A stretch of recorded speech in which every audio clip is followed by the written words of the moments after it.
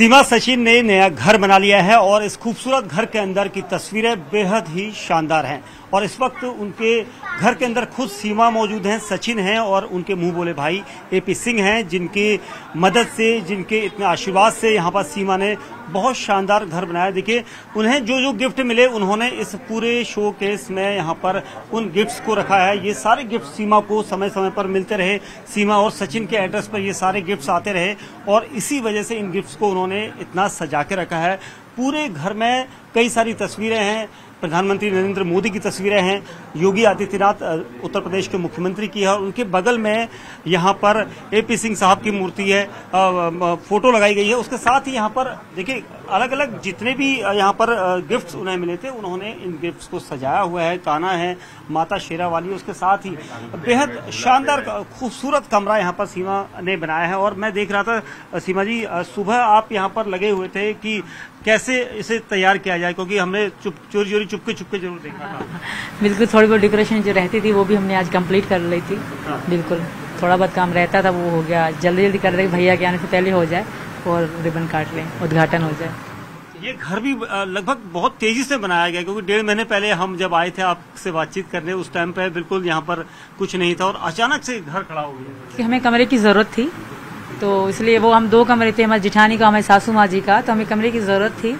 तो इसलिए हमने अपने भैया से मशवरा करा तो उन्होंने बना लो। तो इसलिए हमने ये कमरा बनवा लिया। ये बताइए हमारे दर्शकों को ये डिज़ाइन कैसे मतलब आपने जो जो डेकोरेटिव किया है ये क्या दिमाग में कैसे आया? ये मैंने खुद करा है मैंने और मेरे पति ने करा है। ये चीज़ें हमें गिफ्ट में आई थी राधा कृष्ण जी की तो ये मैंने खुद अब मैंने मेरे पति ने मिला के सेटिंग करी है। हाँ बिल्कुल। और ये कितने दिन में किया? ये सेटिंग तक आठ दिन हो गए सेटिंग करते करते। बाकी उससे पहले कमरा रेडी हो गया था जी। अच्छा देखिए एपी सिंह सर भी है यहाँ पर। सर आपको लगातार यहाँ पर आते हुए हम देख रहे हैं और इतने समय से आप मदद भी कर रही हैं। तो अब ये एक नया घर अपना आशियाना जो ये आज बड़ी खुशी का दिन है। आज तेहरी चौहरी खुशी का दिन है। एक तो नवरात्रा का दिन है। नवरात्रा देवी माता का तीसरा व्रत है, चल रहा है यहाँ। ये चल रहा है, इस तरह से यहाँ आयोजन हो रहा है। और आप देख रहे हैं, पूरा कमरा गृह प्रवेश हुआ है। गृह प्रवेश का अवसर है। तो गृह प्रवेश घर तो एक मंदिर होता है। और बड़ी पूजा पद्धति का एक ढंग होता है, यहाँ मंदिर भी है। और सबसे बड़ी बात, जिस सनातन पद्धति, सनातन संस्कृति को लेकर के सीमा भारत आई है, वही सनातन पद्धति, वही सनातन संस्कृति, वही सनातन संस्कृति।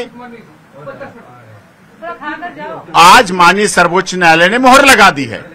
हम यही विरोध करते थे कि सेम सेक्स मैरिज पाश्चात्य सभ्यता की प्रतीक है। हमारे यहाँ शादी है, विवाह है। सभी धर्म, जाति, क्षेत्र, भाषा, संप्रदाय के लोग विवाह को बड़ी मान्यता देते हैं और सेम सेक्स मैरिज तो उन्होंने कह दिया, ये मामला सुप्रीम कोर्ट के द्वारा भेज दिया गया, कमेटी बनाए और देश की संसद लोकसभा राज्यसभा डिसाइड करें। हम नहीं इसको छेड़ेंगे, बिल्कुल। तो ये भी सनातन की जीत है। सनातन धर्म की जीत है, हिंदुस्तान की जीत है, भारत माता की जीत है और भारत के रीति नीति पद्धति की जीत है। और इसीलिए आज खुशी के अवसर पर यहाँ हम सब लोग आए हुए हैं और सीमा सचिन मीना का ये घर आशियाना है, सपनों का महल है। हर एक का होता है अपना घर, लेकिन आप सब भी आए, इस खुशी में शामिल हुए और ये बड़ी खुशी की बात है, इतने इतने सजाया। लोग कल्पना नहीं करते थे कि ऐसी सनातन पद्धति इसके रोम रोम में, सीमा के मन में रोम रोम में खून के के कतरे में सनातन पद्धति और सनातन धर्म भरा पड़ा है और वो आज दिख रहा है आपको और प्यार दिख रहा है। सीमा जब आप आए थे भारत में तब ये हालात नहीं थे घर नहीं था किराए के घर में सचिन ने आपको रखा था वहाँ भी गए थे। लगा था सपना अभी भी सपना सरीखा लग रहा है? बिल्कुल और ये जो भैया ने हमारा यूट्यूब पे अकाउंट वगैरह दिया था उन लोगों की बदौलत है। मेरे यूट्यूब और इंस्टाग्राम की फैमिली की बदौलत है ये जो हमने घर वगैरह बनाया है और हमारे शुक्रिया तो उनको भी करना चाहिए। बहुत बहुत धन्यवाद सबका। सबने हमें पूरे भारत से बहुत सपोर्ट आई हमें।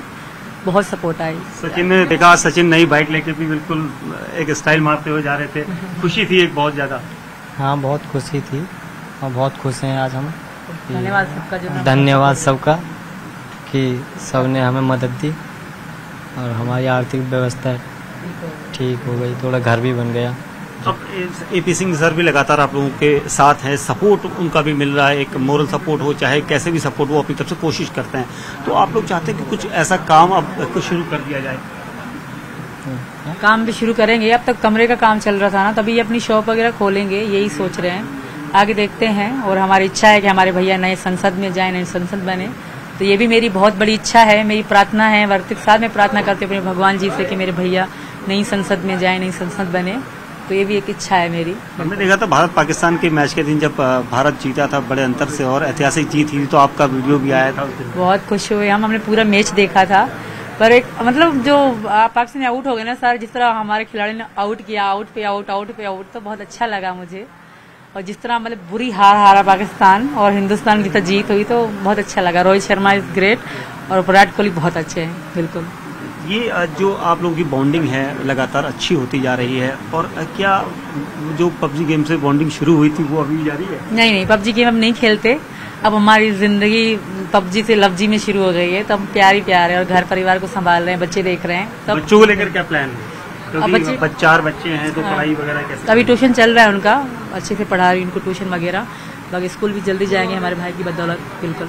चलिए आपको नए घर की बहुत बहुत शुभकामनाएँ। धन्यवाद आपको धन्यवाद और सबका धन्यवाद। आप लोगों का भी धन्यवाद देश के उन तमाम लोगों का धन्यवाद जिन्होंने सीमा सचिन मीना को तन से मन से धन से सब तरह से प्यार दिया और सम्मान दिया और आदर दिया। उन सबका सम्मान और सबका। भारतीय संपूर्ण क्रांतिकारी पार्टी के राष्ट्रीय अध्यक्ष ठाकुर जोगेंद्र सिंह जी भी आए हैं और सभी संगठन आज लगा- लगातार संपर्क साथ रहे और साथ में है। उनका सबका बहुत शुक्रिया एपी सिंह साहब। और देखिए सीमा हैदर का जो घर है वो बहुत खूबसूरत है और उस घर को हमने आपको दिखाया था।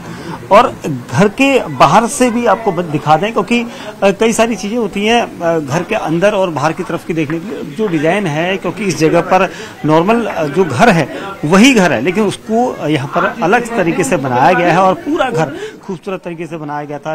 रिबन लगाकर रिबन काटा गया था। और उसके अलावा जो यहाँ पर अब रहेंगे, ये कहा जा रहा सीमा के द्वारा कि वो उन लोगों के शुक्रगुजार हैं, जो उन्हें लगातार पसंद करते हैं, उनकी मदद करते हैं, उन्हें लगातार गिफ्ट भेजते हैं और इसी वजह से उसका ये नतीजा है कि सीमा हैदर ने अपना खुद का यहाँ पर घर बना लिया है, सचिन के साथ अब वो रह रही हैं। तो सीमा, सचिन, मीणा नाम से अब वो यहाँ पर रह रही हैं और उनकी ये आशा है, उनकी ये तमन्ना है कि इस घर को इसी तरह से आगे और बढ़ाए और खूबसूरती से वो यहाँ पर इसे सजो कर रखें।